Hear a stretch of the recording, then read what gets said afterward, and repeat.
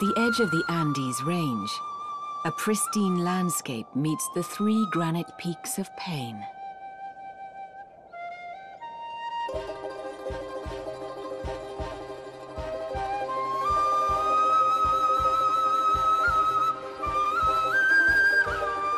Spanning across the southern part of Chile, Torres del Paine National Park covers over half a million acres of mountains, lakes, glaciers and valleys. Black-necked swans and Chilean flamingos dot the numerous lakes in the region. Guanacos, cousins of the llamas of the north, fill the fields. Large Andean condors take to the skies, scavenging for carrion. Rarely seen, and even more rarely filmed, the puma is the top predator of these mountains.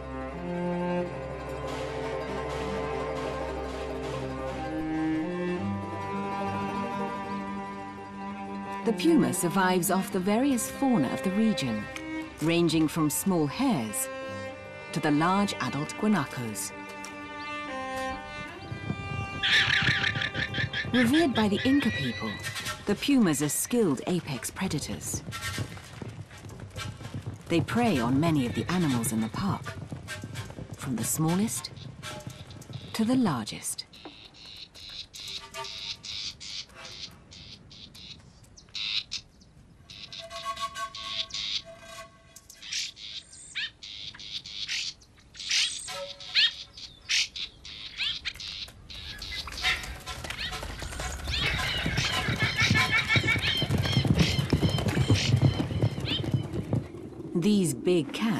Found all over the Americas, making their homes in the forests, deserts, jungles and fields from the north to the south. Over the course of two years, Hugh Miles filmed the pumas of Torres del Paine, following one cat in particular. Experiencing both heartbreak and joy, triumph and loss, he gives us the story of the great lion of the Andes.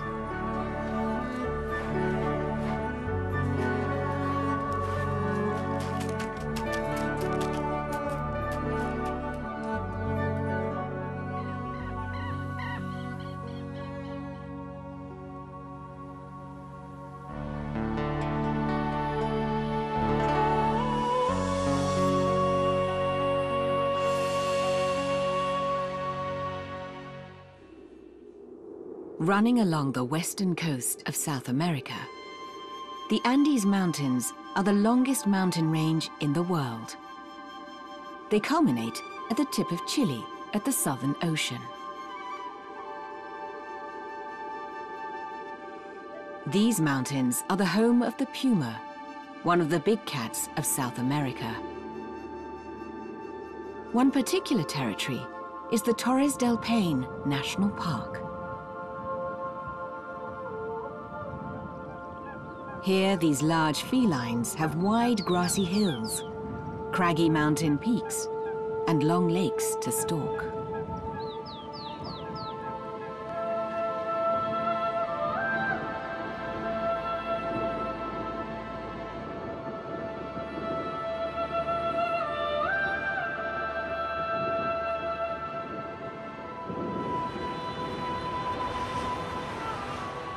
Ruled by the weather, this park is part of Patagonia, an area of South America filled with extremes.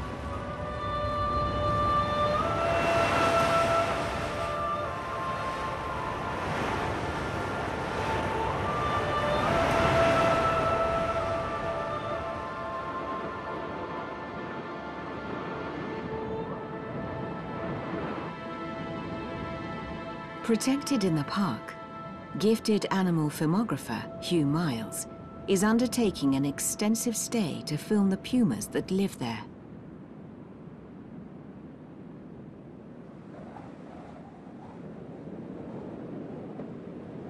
Using his experience filming other wild animals, Hugh sets up camp around a lake where there have been multiple pumas spotted. Filming pumas is a daunting prospect. but I love these inspiring landscapes, and the chance of getting to know such beautiful cats is a real privilege. That guanaco is alarmed, as well it might be. There are two pumas on that far hill. I can only just make them out, but one's bigger than the other. Maybe a mother and large cub, or a male and female. They're looking a bit nervous, but I'll try to get closer. It's always exciting when approaching an animal for the first time, especially something as charismatic as a big cat. Wow, he's not happy. Those flattened ears mean he's terrified.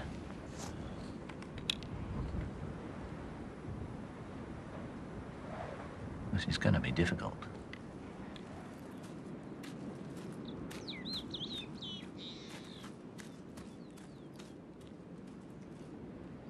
Hugh readies for a long shoot. He will stay in the area for two years filming the pumas and various other animals of this landscape. A few are more easily won over than others, such as his new neighbours, foxes, who can be tamed with a few treats. After only a couple of weeks, I have this charming little grey fox completely trusting me, and I hope in time I'll win the trust of a wild puma. My helper in this quest is an old friend from Argentina, Donaldo McIver. We're a team of just two to limit disturbance. Our search for pumas begins where they've been seen in the past. Lake Sarmiento is huge, like an inland sea, its coast riddled with caves. But pumas are solitary animals with large territories, so there are probably only a few cats along this whole shoreline. A travelling cat will more than likely follow the coast, so I hide with the camera close to the shore while Donnie watches from a distance to warn me if a cat is approaching. Then we wait. And wait. But we're lucky. After only three days, a cat is heading our way.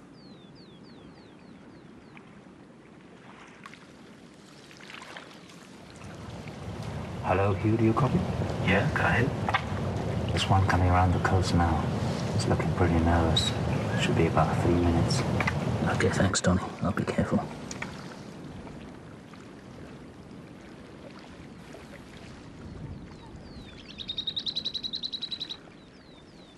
It's looking a bit tense. Obviously aware that something odd is hidden in the bushes. Jeez, that's one lovely cat. A female, I think. Six feet of feline grace. That's lucky. She's going into a cave. I'll concentrate on this one spot and see if she gets used to me. Those ears are so expressive. Turned back listening to me. Yes, I'm sure she's a female. She has a thinner face than that male we saw earlier. And this is encouraging. She isn't fleeing. If she sticks around, she might be our star. We soon learn that she'll accept only one person at a time.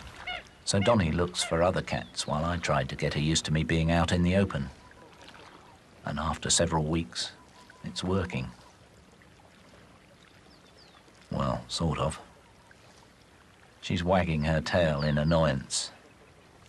I wonder what goes on in her mind. Eye contact is most important to a cat, and I have to look away to release the tension.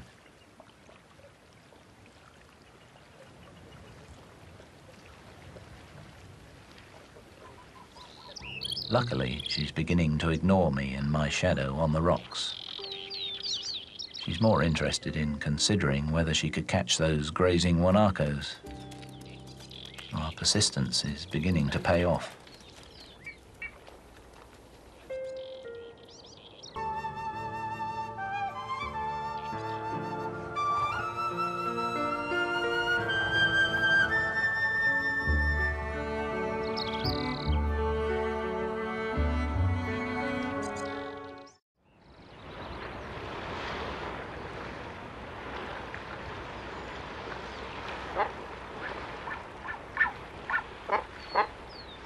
Spring is a bountiful time for prey for Penny.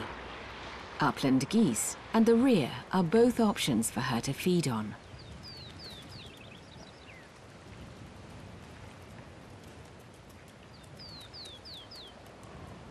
One integral animal is the hare, which are a thriving food source for the puma.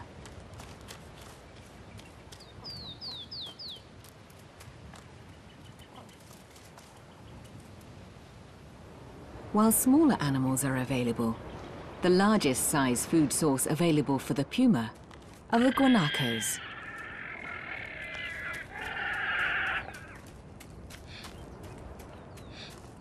Males fiercely battle for breeding rights for two weeks in spring.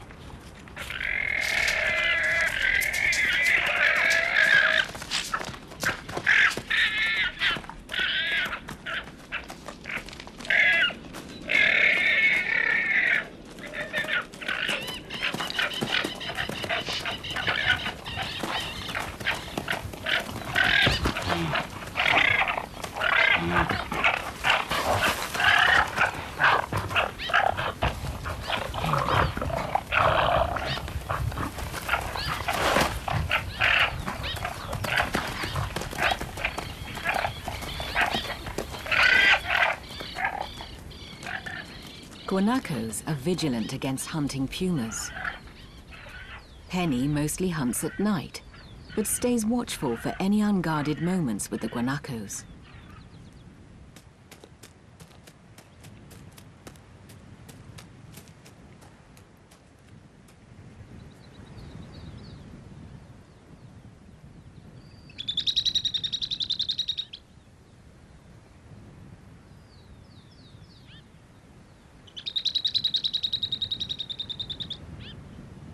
While most would see an open field as exposed, the guanacos use the clear space to their advantage to see any stalking predators.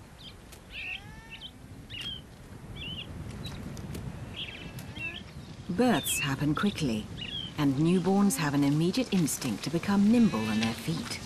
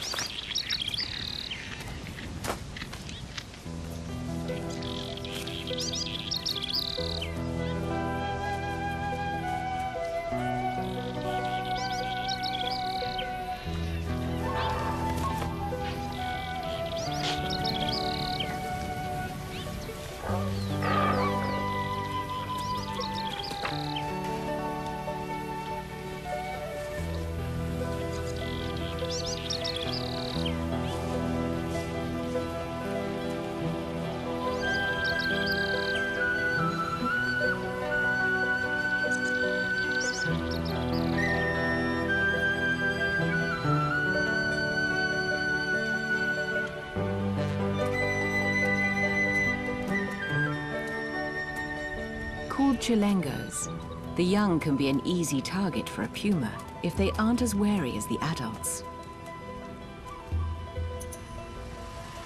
Up until now, it's been impossible to film Penny hunting.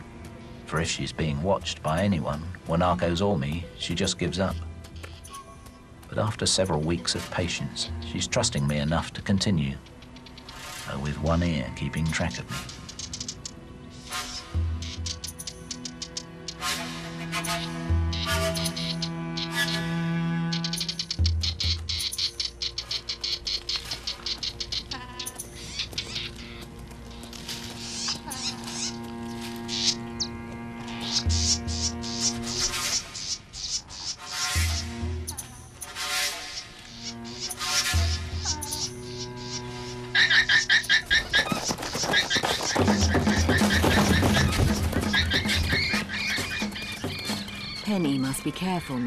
the attention of any guanacos, lest they alert the rest of the herd and run off.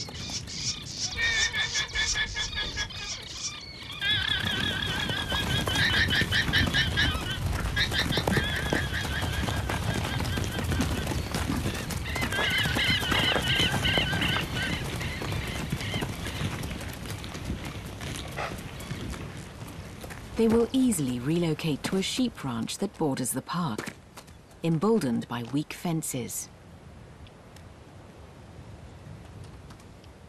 The fences also fail to keep out the pumas as they follow the herds.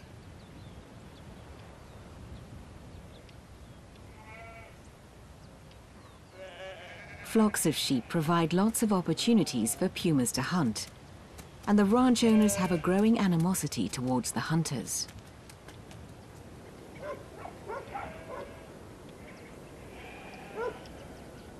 It is illegal to hunt pumas in Chile, but the ranch owners disregard the laws to protect their sheep, sometimes offering bounties for the big cats.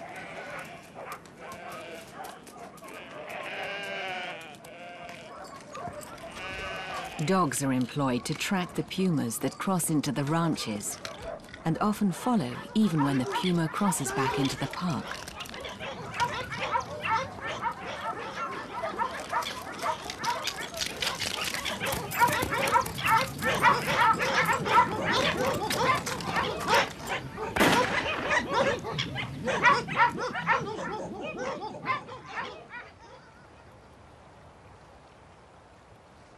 Hugh and Donnie are unable to find Penny after she was chased by the hunter and the dogs, and they begin to fear the worst.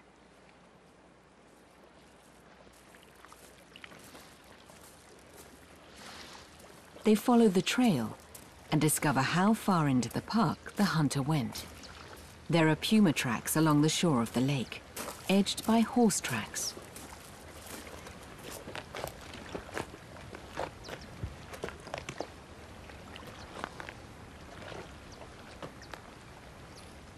They follow the tracks to one of the caves that line the shore and call the park rangers after finding alarming evidence that a puma has been shot.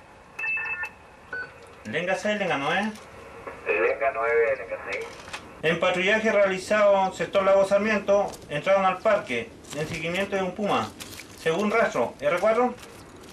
R4, eh, de inmediato. Hugh and Donnie have called Jovito Gonzalez and Juan Toro, who protect the animals in the national park.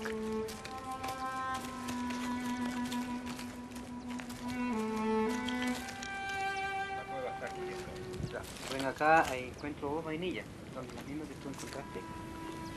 The park rangers find not just one kill site, but two other caves have shells and extensive bloodshed.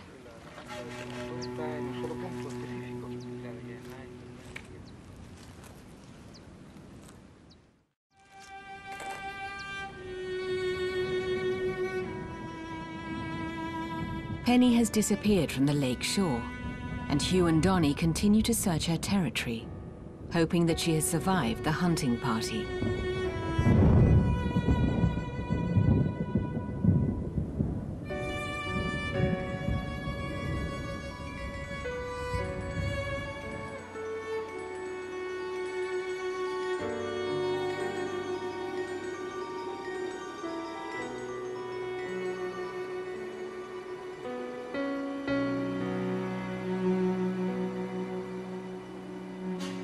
Seasons change, and Penny stays hidden away from Hugh and Donnie. As winter snow begins to pile high, the guanacos begin to migrate away from the lake and Penny's cave. The smaller herds unite into larger groups along the trails that lead west to snow-free feeding grounds.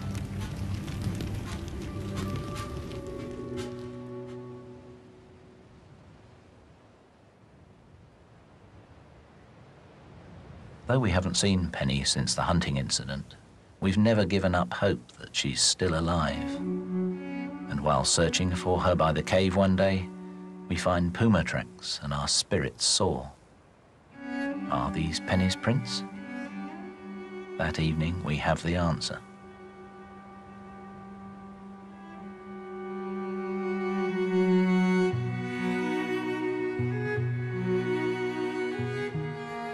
Is our beautiful cat, still very much alive.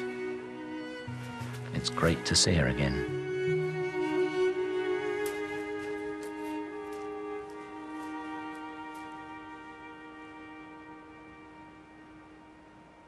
Being with Penny day after day, I've learnt that the late evening, night, and early morning are her most important hunting and feeding times.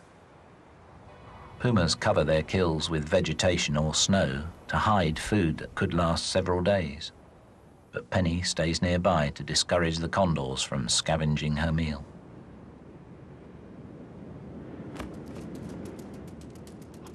Pumas tend to eat only at night, whereas foxes are always alert for any opportunity, and these two compete for Penny's buried treasure. They mustn't get too preoccupied. Given half a chance, Penny would eat them too. Mm-hmm.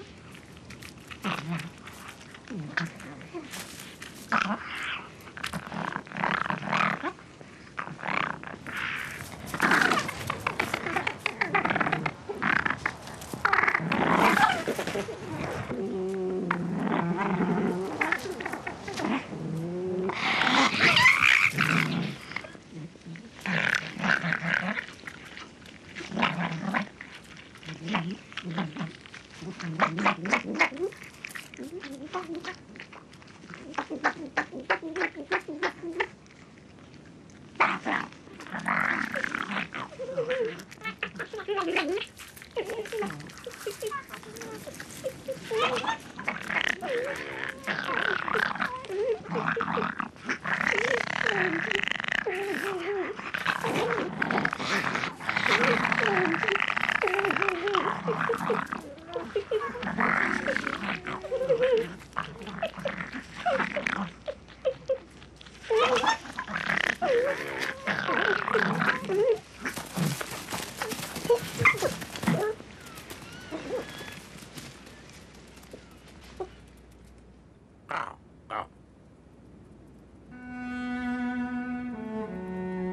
fox's speed nearly always saves them, and Penny seems weary.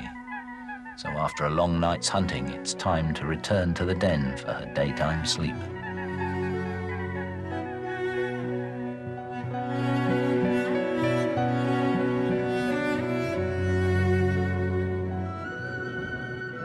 Condors circle Penny's unguarded kill.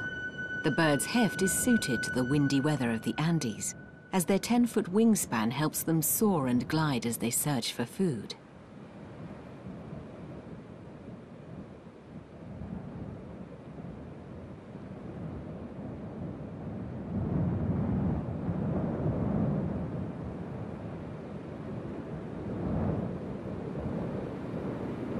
Walking.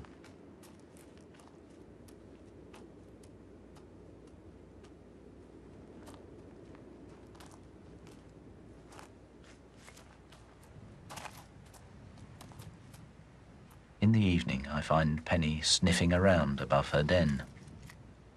She's keenly interested, as if she smells another cat, and maybe it's a male.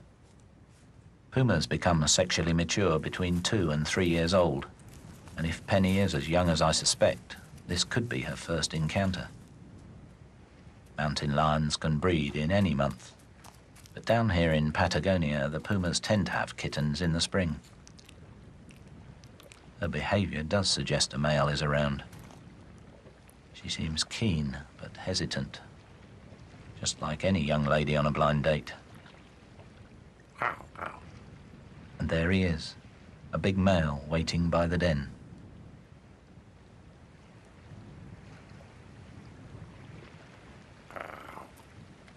Penny seems apprehensive. In fact, rather touchingly, she circles round closer to me than him. Seems extraordinary that she trusts a human more than a puma. I feel quite honoured.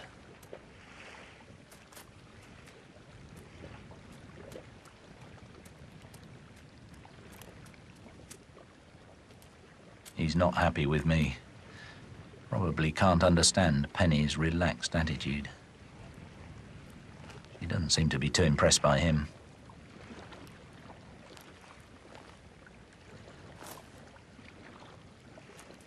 He's a powerful looking cat, easily recognized by those more distinct black and white markings on his face.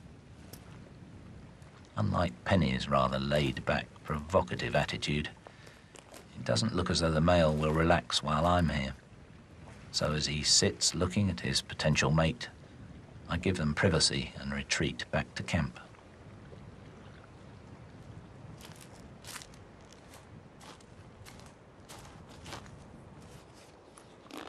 I see Penny and the male together just once more, in moonlight near our tents. If they did mate, gestation is about three months, so she might have cubs in the spring.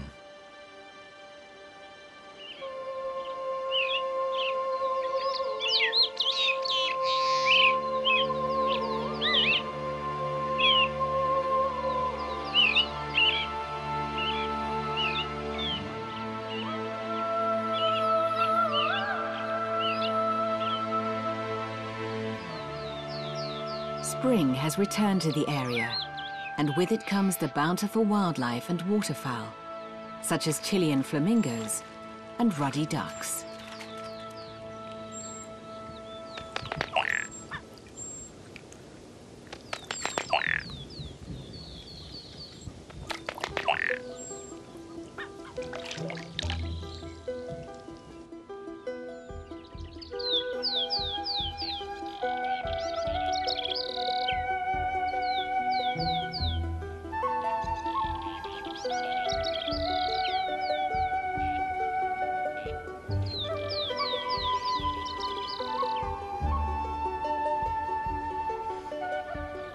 Fox kits play in the rugged landscape. Hugh and Donnie still have no sign that Penny is around the park.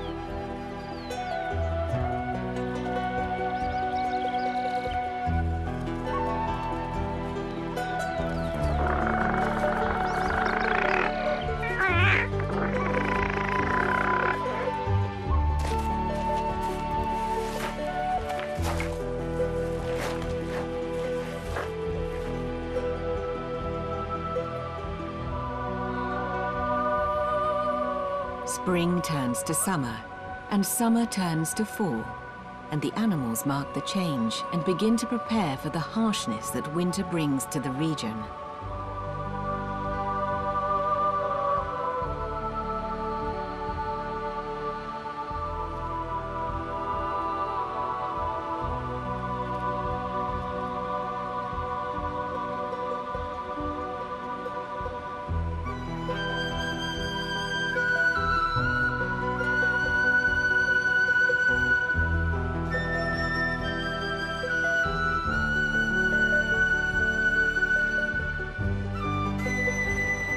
The Guanaco herds merge together again, and the fate of Hugh's huntress remains a mystery.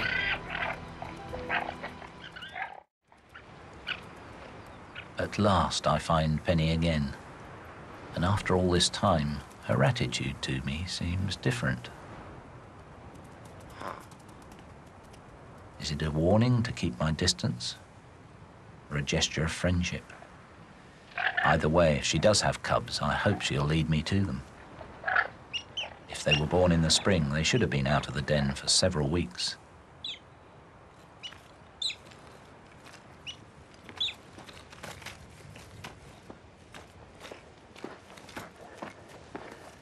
I follow her into a steep-sided valley, at the bottom of which is a dried-up lake.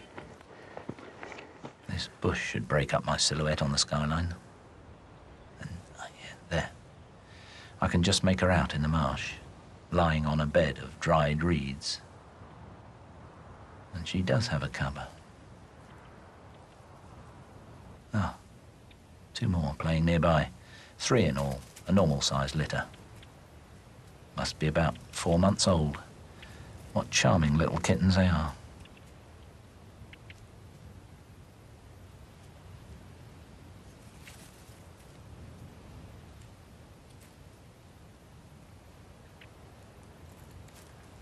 My joy at finding the cubs is short-lived.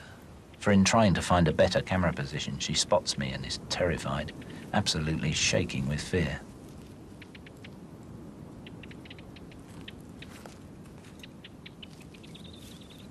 Her wild instincts seem to have taken over completely. She's abandoning her cubs. Understandable, I guess. I suppose she thinks I'm a hunter.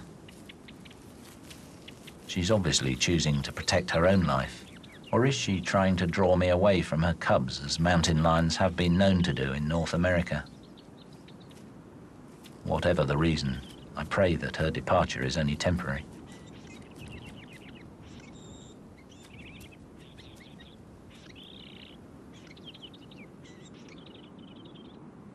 It's a tense situation. For filming wild animals, however well intentioned, often disturbs them and can even put their lives at risk. And the animal's welfare must come first. But I've really blown it this time.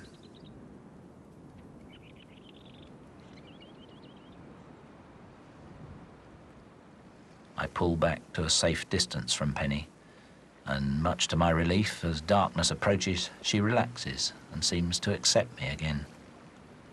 Then she starts heading back to the cubs. After the scare I gave Penny, I lose her for several days, but eventually find her to the west of her den. She only has two cubs, and I wonder where the third one has gone. Donnie and I just walk and walk, scouring the hills for Penny and her cubs and clues of their presence. And about a week later, we come across one of Penny's old kills. And there, close to it, is a sad sight. The third cub, its body already desiccated by the relentless wind.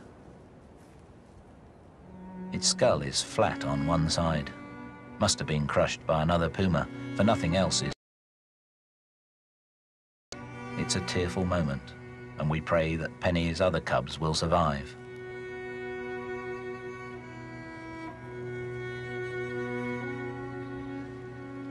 Hugh and Donnie are lucky as Penny returns to the lakeside and the caves that they know.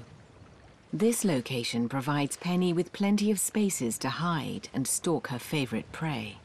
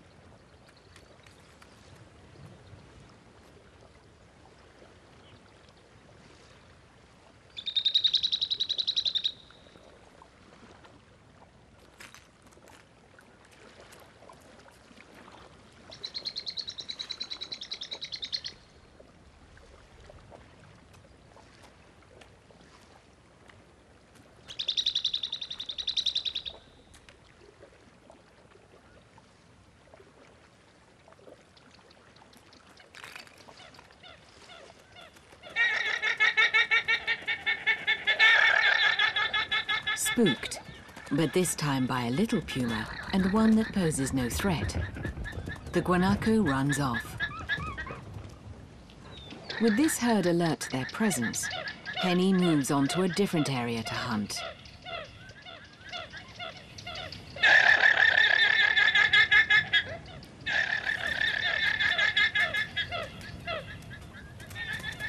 As Penny and the cubs move through the landscape, Hugh and Donnie follow their progression through the park.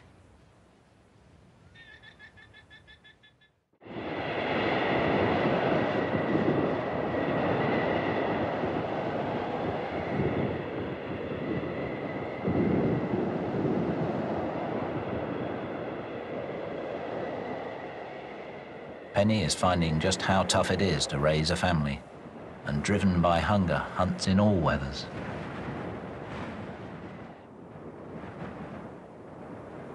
Without surprise on her side, Penny has little chance against a fleet-footed hare. And she needs larger meals too. But the Guanacos have been driven west by the blizzards, and Penny must follow. Hungry or not, the cubs remain playful as they follow her trail. They're eight months old now, and I soon appreciate how effective their large paws are in soft snow. They glide over the surface while I struggle to keep up drilled into deep drifts by 50 pounds of camera gear. But I'm desperate to see a successful guanaco hunt, and Penny is keen too. On this particular day, she walks six miles. but it may be worth it. For every success, there are many failures, and almost inevitably, it seems, Penny is spotted. But she has another problem. Her quest for a meal has taken her deep into the home range of another cat, and it's watching us all from the top of the cliff. This one also has cubs, three large ones. I'm keen to find out who Penny's neighbour is, and though the cubs make themselves scarce and their mother is shy at first, she's remarkably tolerant. Living deep inside the park, perhaps she has little fear of humans. Extremely wary of this stranger, for pumas will defend their litters fiercely. So each family avoids confrontation by putting wild country between them.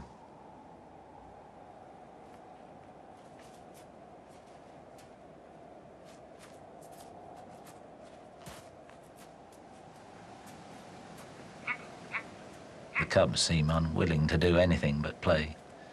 And Penny is reluctant to leave the area too, for this is where the guanacos are holed up for the winter. But she must retreat to ensure her cubs' safety. They'll be hungry again, but spring is on the way.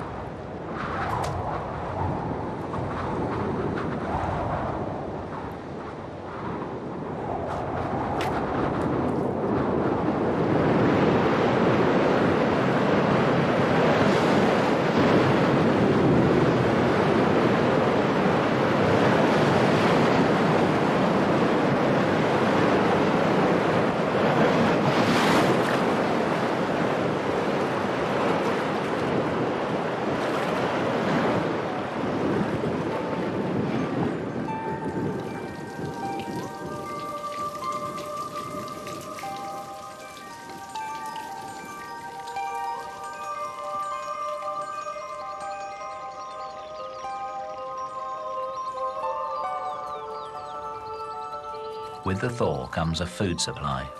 For as winter loosens its icy grip on the land, the guanacos migrate back to the area where Penny lives. She was obviously lying in ambush, for we discover a fresh killed guanaco, carefully hidden to await her return with the cubs. At dusk, I walk down to my camera near the carcass, and with guanacos to warn me of Penny's approach, I'm free to enjoy these glorious skies.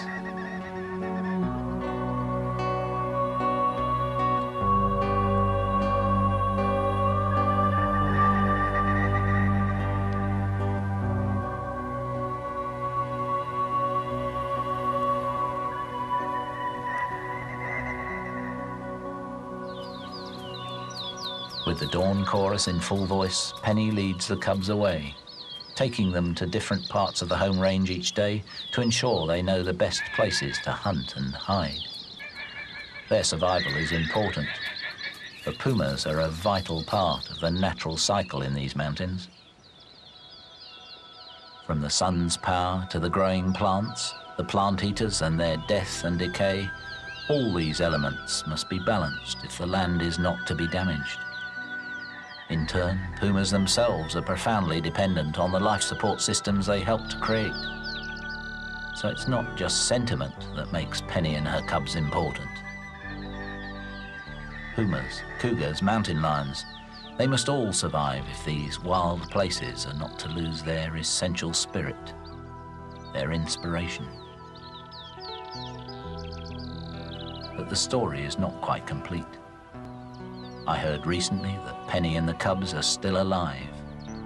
And though I'll always be disappointed that fate didn't allow me to see her actually catch a guanaco, maybe that is how it should be. She's kept many secrets, retained her mystery and dignity. And I have many wonderful memories. For this completely wild puma gave me the privilege of sharing part of her life, even trusting me enough to sleep by my side. Her presence in the mountains is not a shadow, it's a shining light.